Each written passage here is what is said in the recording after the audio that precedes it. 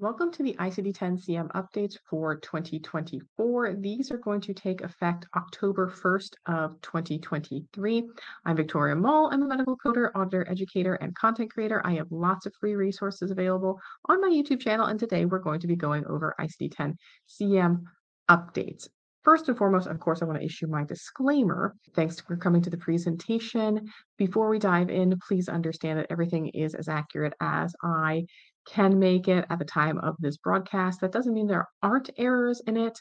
Uh, there very well could be some little tiny ma- minor errors. Um, and please make sure that you check with your contractors and things like scope of practice before taking any guidelines directly from Victoria. Now, compared to last year, we did not see as many ICD 10 CM updates. So this year we have 395 new codes uh, 22 were revised, and then we also had 25 that you may see re uh, reflected as deleted codes, but I say that they are more accurately converted to parent codes. The codes themselves were expanded, so they need additional characters. So they weren't deleted out like ineffective per se. It's just that they need an additional character now. Um, because there was only a handful of the ones that were converted to parent and the ones that were revised. I'm going to save those for our last couple of slides, and I'm going to go through just chapter by chapter. Last year, we actually saw 1,176 new codes and 251 deleted and 36 converted to parent. So compared to last year, these changes aren't as significant. So Thankfully, I'm here to not give an hour-long presentation on this. I'm going to give some clarity on the revisions, but I'm not going to make you brain dead going through all of the updates. So first, I like to start out with the guideline changes. Uh, we're not going to go over any little things that are like grammatical errors or little tiny minor revisions that aren't going to change the actual context of the guideline that we're looking at, okay? So um, there was a change to the documentation by clinicians other than the patient's provider. So in our previous rules, we've seen that uh, people other than the patient's provider are allowed to document certain things um, in the patient's record, and we can abstract those codes, such as BMI, or if a wound care nurse documents the stage of a pressure ulcer. Well, there's been a little minor clarification now in regards to social determinants of health, and we have seen some changes to SDOH this year. Uh, so the SDOH that can be documented by someone other than the patient's provider, one of those exceptions, uh, it now clarifies that they have to be classified to Chapter 21. So it's something that a lot of us have already assumed that when they said social determinants of health, they meant the codes that were in Chapter 21, um, but now it is outlined specifically in the guidelines. The guidelines for Chapter 1 were slightly changed, so it says that if a patient has sepsis that's following a post-procedural wound, we would use a T code. If they're an OB patient, of course, we would use those O codes. Those take precedence over everything else. Um, and the OB code, of course, gets sequenced first. And then we would assign an additional code for sepsis following a procedure, which is the T1.44, or sepsis following an OB procedure O86.04. There is a new guideline in regards to screening for COVID-19, and it says that for screening for COVID-19, including pre-operative testing, so a patient that maybe is going in for some kind of surgery, and we want to make sure that they don't have COVID before we send them into the hospital for surgery, we would assign code Z11.52 for encounter for screening for COVID-19. Chapter 9 has been revised in the guidelines. There is now a new code for resistant hypertension, which we'll talk about when we get to our I codes. So resistant hypertension is when a patient's blood pressure stays high even after they're taking medications. So if you see this condition, you'll use the code I1A.0 um, but remember, it this is an extra code, so we always have to have the specific type of the existing hypertension first, and then use the I1A.0 for the resistant hypertension.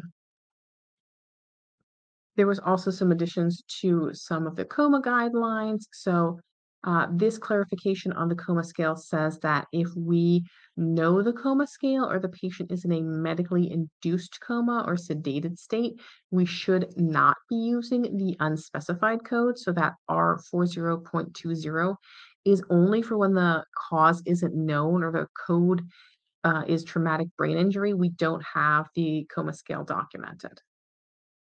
Now, this clarification to our guideline states that we should not use the coma scale codes when the patient has a non-traumatic coma due to an underlying condition. So if you are using R40.2a, do not use the coma scale codes. And then we have some codes in regards to follow-up. So the codes are all about, you know, keeping tabs on the patients after they've finished treatment. So if someone is done with their cancer treatment, we will use a code from ZO8. Uh, if it's encounter for other conditions, for other follow-up examination after they've completed treatments for conditions other than cancer, we will use our Z09 codes. Now let's get into our code changes. Starting with chapter one, we have two new codes here, uh, A41.54 and B96.83. So these are for um, different types of infections, bacterial infections, and the bacteria infections are kind of everywhere. They're like in the soil, they're in the water, and it's a big deal because it can infect different parts of your body from your blood to your lungs. Sometimes it just exists in your system without causing harm. But when it's resistant to antibiotics, uh, it can be problematic. So that was like our uh, what they call carbapenem. And in 2017, this caused around 8,500 infections and 700 deaths in US hospitals.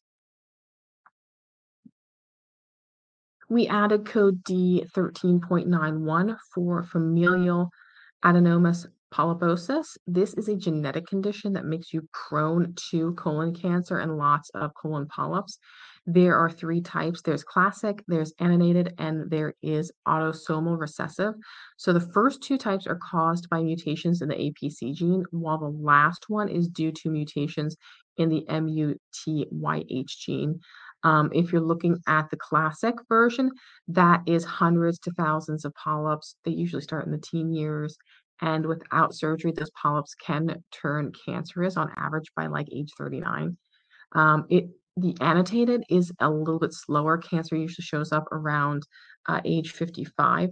The autosomal is the less aggressive version. You'll see fewer than 100 polyps, and it's usually the less severe version. So why is this important, right? Uh, because these mutations mess with the cell growth, they can lead to all kinds of different polyps that potentially lead to cancer. So we'll see these new status codes when we get into our family history codes and our new status codes as well. Um, and we also added some codes for um, benign neoplasm of ill-defined sites within the digestive system, so D13.99. And the desmoid tumors you'll see over here, that's a lot of the different types here. These desmoid tumors we have broken down then by the area in which they are located, and then of course the unspecified code. Chapter three expanded for a lot of codes with sickle cell thalassemia. So um, when we have sickle cell hemoglobin, that causes the red blood cells to become sickle shaped under stress, uh, like low oxygen. And these sickle cells can block blood vessels and cause pain and other complications. And then the beta thalassemia, that leads to reduced production of normal hemoglobin and it can result in anemia. So when we mix those two together, we get the sickle cell thalassemia, and that is a condition that has features of both. Uh, the severity can vary depending on the type. Um, if you have beta zero, that's where no normal hemoglobin is produced and the condition is more severe. If it's beta plus, there is some normal hemoglobin produced and the symptoms might be milder. Um, we also have the Shwachman-Diamond syndrome, which is a rare genetic disorder affecting the bone marrow, pancreas, and skeleton. And it leads to a weakened immune system. It makes you prone to infections, um, as well as it gives uh, issues to pancreatic enzymes. Plus, it also often comes with skeletal abnormalities like short stature. And then we have this IG4 related disease. I'm sorry, IgG4 related disease. And that is a complex issue. It affects multiple parts of the body. It's an immune mediated condition characterized by tissue inflammation and elevated levels of uh, certain antibodies, specifically the IgG4. And this disease can target almost any organ, pancreas, liver, kidneys, lungs, and the symptoms vary based on the affected area, but often include things like swelling, nodules, and even organ dysfunction. We had a fair amount of codes added this year to chapter four, so our endocrine, nutritional, metabolic diseases. Um, we have here codes for the autosomal dominant hypocalcemia, which is a genetic disorder affecting calcium metabolism. Um, and the ADH comes in two types and caused by mutations in either the CASR or GNA11 genes and it leads to the body misinterpreting how low calcium levels are. This can result in a range of symptoms that affect the muscles, the nervous system, and the kidneys, and the diagnosis is confirmed through genetic testing and treatments focused on calcium and vitamin D supplementation. But the treatment is kind of a balancing act because excessive calcium could lead to kidney issues. So the new codes aim to improve the tracking and treatment of ADH and other types of hypoparathyroidism, like those associated with cancer or uh, autoimmune conditions. The Global Leukodystrophy Alliance proposed to have new codes created for the different types of leukodystrophies. Leukodystrophies are rare diseases that affect the brain's white matter, and they can be very serious, even fatal, especially for young kids. Right now, we've only had codes added for these six main types, but experts know there's a lot more. There's over 400, and they are better reflected in ICD 11, which is still a ways off. Um, and each of them have their own genetic cause and symptoms, and of course, different ways that we test for them and potential treatments. So having unique codes for each of these types will really help better with the research and the patient care. And then you'll see here, we also saw a new code this year for metabolic syndrome, which I thought we had a code for, but apparently not. Metabolic syndrome, of course, includes different factors like high blood pressure, high blood sugar, uh, excess fat around the abdomen, and uh, abnormal cholesterol levels. So that's what we consider metabolic syndrome. We have a few new codes to specify types of insulin resistance, and then we have down here our wasting disease. Uh, wasting disease is when a person loses more than 10% of their body weight and muscle mass, which is usually due to an underlying chronic disease and it can be a sign that the disease has reached a severe level. So the National Center for Health Statistics requested a code specific for wasting disease. There were no changes to our Chapter 5 codes for this year. Now, as far as Chapter 6, continuing the need for our leukodystrophy codes um, that we saw in some of those E codes, we have added some for the types of leukodystrophy that impact the nervous system. So Parkinson's disease has been expanded for with or without dyskinesia. Uh, dyskinesia is an involuntary erratic movement of the muscle. Hypomyelination with atrophy of the basal ganglia and cerebellum is a rare neurological disorder that affects the central nervous system. And now that's assigned to our G23.3 code. Um, Lafora progressive myoclonus epilepsy is a rare inherited neurological disorder that's characterized by the onset of seizures and progressive neurological decline. It's one of the most severe forms of epilepsy. And then there was a request from the Wisconsin Physicians Service Corporation for a new ICD-10-CM code specifically for chronic migraine with aura. Chronic migraine is defined as a headache occurring 15 or more days a month over a three month period with at least eight days a month having migraine features. Uh, these new codes kind of aim at having more coding specificity for the treatment and research of those individuals that are suffering suffering from chronic migraines with aura. In our Chapter 7 codes, we had the American Academy of Ophthalmology propose new codes for proliferative sickle cell retinopathy, which is a condition that can lead to vision impairment and blindness. And then we have a new section of codes here regarding muscle entrapment. Extraocular muscle entrapment is a condition more common in pediatric trauma. It is rare in adults, but the condition can lead to severe symptoms like bradycardia, nausea, even syncope.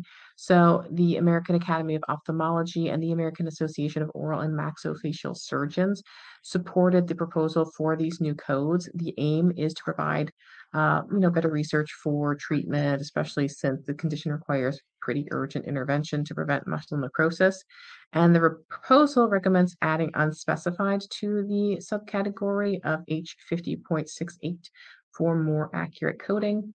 And then we saw some code additions here for low vision of the right eye, category two, and foreign body sensation of the eye. We'll see more and we'll talk more about the foreign body codes when we get a little further in. By the way, if you are getting value from this presentation, and I also saved you uh, a ton of money from hiring a very expensive consultant or having to buy a very expensive webinar to share with your entire department, or I just saved you some money out of pocket, you can thank me with a super thanks. If you want to just drop me five, ten dollars, I will greatly appreciate it. It will help support me and the channel and continuing offering these great resources to others. There were no changes to our chapter 8 codes. We did see 10 new codes added to chapter 9. IA.0 is that code for resistant hypertension that we talked about when we talked about our guideline changes. Uh, and that is that form of high blood pressure that remains even when we have tried at least three antihypertensive medications from different classes. Usually that includes a diuretic. After that, we have some new codes in regards to coronary microvascular dysfunction, which affects this microvasculature, leading to a range of symptoms from angina to heart failure. The 2021 guideline for evaluation and diagnosis of chest pain recommends specific tests for diagnosing CMD as it's associated with higher risks of major cardiac events. So Abbott Laboratories proposed these specific codes to improve the diagnosis and treatment. There was a modification to the code title for inappropriate sinus tachycardia by adding this little tiny statement here that says so stated. So the code changed from I47.1 to I47.11. So make sure that you're updating all of your quick pick lists and uh, super bills or whatever you might have out there to notate that there is an additional digit there and a slight change that it has that word so stated at the end. Uh, and of course, I47.19 was added for other SV tachycardia. There is, of course, the unspecified code if the provider only states SV tachycardia. In 2017, carbapenem-resistant Acinetobacter led to an estimated 8,500 infections and 700 deaths in the U.S. based on an internal CDC review. So we have new codes in chapter 10 to reflect this. We also have some additions to the bronchitis and COPD codes, including an other specified COPD code. So you'll see that right here, J44.89, other specified COPD. And then some allograft related lung illnesses were added J4A.0, restrictive allograft syndrome, J4A.8, other chronic lung allograft dysfunction, and then J4A.9, which is chronic lung allograft dysfunction, dysfunction unspecified. We added a pretty good amount of digestive system codes this year. You can see acute appendicitis with generalized peritonitis. Added some codes for with or without abscess, and in regards to the perforation. Then we have this small intestinal bacterial overgrowth section. Gut overgrowth conditions can lead to symptoms ranging from abdominal pain to bloating.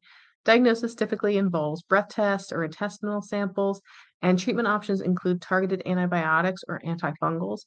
And these conditions are a growing concern for patient quality of life. We also added some retroperitoneal codes, retroperitoneal fibrosis and retroperitoneal hematoma. We have new codes for short bowel syndrome with or without colon in continuity and an unspecified one, and then one code added for intestinal failure. There were no changes to chapter 12. We did see a few codes expanded in chapter 13 in regards to orthopedic procedures. So those autologous bone grafts often come from the pelvis. However, in patients with osteoporosis, this can lead to pathological fractures in the pelvis, which affects about 1% of cases. Current ICD-10 CM codes inaccurately categorize these as femur fractures, which makes uh, some impacts on the clinical decision making.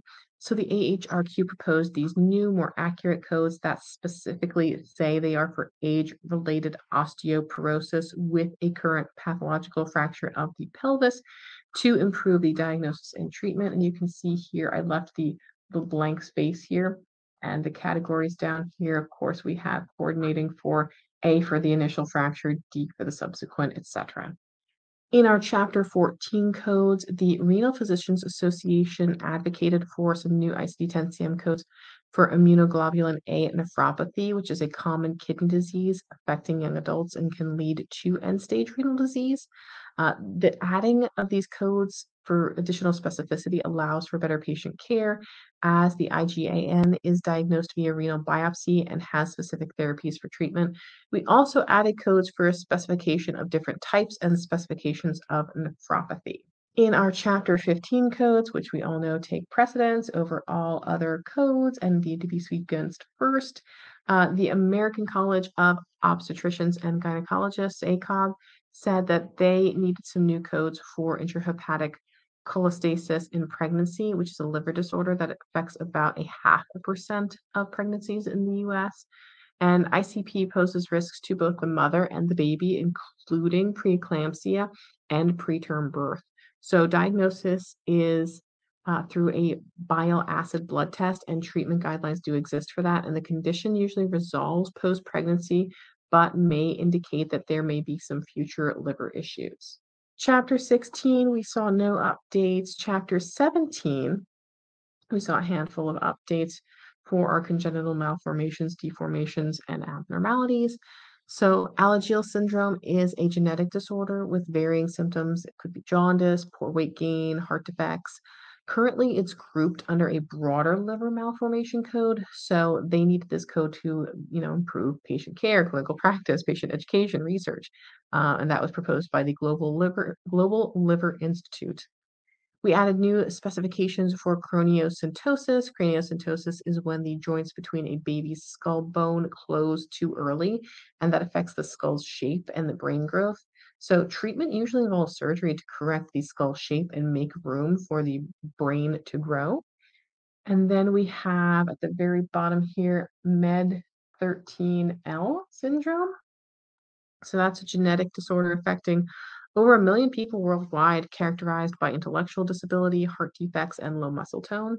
And the foundation pushed for a new code. The syndrome is managed through various therapies and a lot of ongoing surveillance, and there is currently no cure available.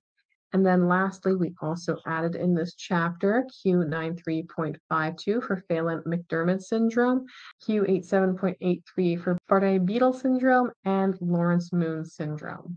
Now, we added a lot of codes this year for specified foreign bodies entering through orifices, which we'll talk about in our external causes, but there's also some codes for when we have the sensation of having a foreign body but it is not actually there. Like we go in, we look and we go, oh, we just, we thought it felt like the foreign body was there, but we didn't actually find anything. So instead of having no code or uh, the worried well diagnosis, now we have specified diagnoses for those in our chapter 18 foreign body sensation, unspecified nose, throat, and other site.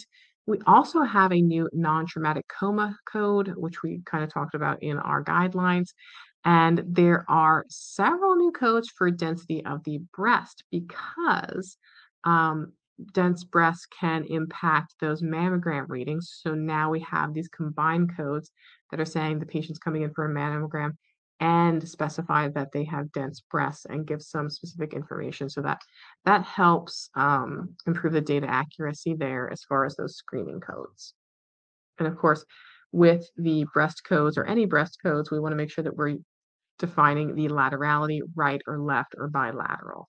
We have a few new codes for toxic effects of gadolinium, which is a chemical element that is used in different MRIs. It can cause side effects such as injection site discomfort, nausea, itching, rash, headaches, dizziness. But there are some more uncommon side effects, like if you get nephrogenic system fibrosis. The biggest changes we saw this year were to Chapter 20, which is our external cause codes. Now, one of my guilty pleasures is I like watching Lauren the Mortician on TikTok. She talks about death and dying and child safety and some things that she has seen in her years practicing as a mortician that have resulted in fatalities, specifically in children. Um, and that includes things like those water beads or aqua beads that expand and how problematic those can be when ingested by a child. And she also talks about things like magnets and those little button batteries. Now, button batteries can result in some rapid caustic tissue issues if they are ingested and both acute and chronic complications. Um, there was an analysis that uh, was of 8,648 battery ingestion cases. The majority of them, 8,161, were those button batteries. So those are accidentally getting ingested versus the cylindrical cells. Only 487 of those cases were those AA, AAA batteries. So um, a lot of the button battery injury cases, 62.5%, are in children, but we also see a good percentage of them, 15.9, are in the elderly, elderly people over 60 years old. So there was an expansion of a lot of the codes of um, things that can be entered into natural orifices. Of course, it was the American Academy of Pediatrics that really pushed for this because they're seeing the majority of it. Little kids under six sticking metal objects, magnets, pieces of plastic toys, and jewelry, and so forth uh, into their into their ears and, and nose and mouth and so forth. So you see we have different types of objects here that can be inserted or entered into through a natural orifice batteries, plastic coins, plastic beads, jewelry, bottle, glass, magnetic metal objects, metal jewelry, and then it even continues into the next page. Um, non-magnetic metal beads, metal toys, uh, bezoar, which is um, like a, a clump of hair or natural fiber. And then we have food, rubber bands, insects, non-organic uh, items, uh, audio device, so like your earbuds, right? Combinations of metal and plastic items, needles, and then knife, sword, or dagger entering in through a natural orifice. We have a lot of new codes too in chapter 21, starting with encounter for a child welfare exam, observation and evaluation of newborns for suspected conditions that were ruled out, and Z16.13 is the resistance to carbapenem that we talked about. So carbapenem is that class of antibiotics that are often used as a last resort to treat those bacterial infections that are resistant to other antibiotics. And there is a rise of carbapenem resistant bacteria in healthcare that are, are of a growing concern. We can see here in these new Z22 codes that they are for the status of someone who is a carrier of these uh, resistant bacteria. We also have some new codes for encounter for HIV pre-exposure prophylaxis, encounter for other prophylactic measures, and then we start getting into the new SDOH codes. So child in custody of non-parental relative, child in custody of non-relative guardian. We have a lot of new SDOH codes this year in regards to child, guardian, and caretaker relationships, as well as a new code for a patient being a runaway from their current living environment here, which is our Z62.892 code.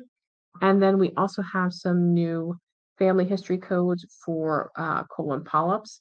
So history of hyperplastic colon polyps, other family history, family history of colon polyps unspecified.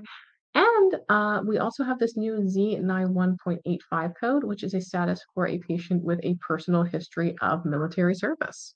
There were no changes made to Chapter 22.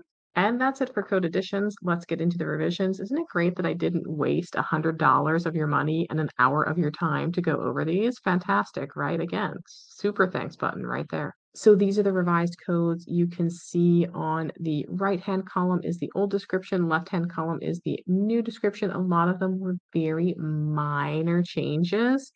So we have things like abdominal aorta is now thoracoabdominal aorta, and we have Marfan's syndrome converted to Marfan syndrome. So really these aren't significant. A lot of them were just very minor revision details.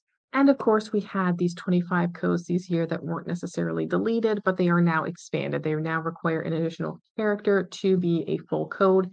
And those new full codes should have been in the uh, new codes that we added there. So things like craniosynostosis we have uh, was converted to a parent code. It needs additional characters.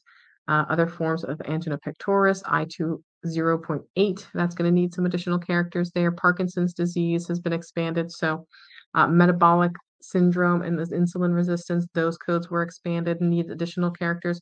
So again, these weren't necessarily deleted, but they were expanded. They will need additional characters now in order for them to pass through on a claim or so forth. So that's it for the ICD-10-CM updates for 2024. I'm actually going to drop my presentation in the video description. So if you are someone from a local chapter or someone that wants to give this presentation at your office, feel free to take it, adapt it.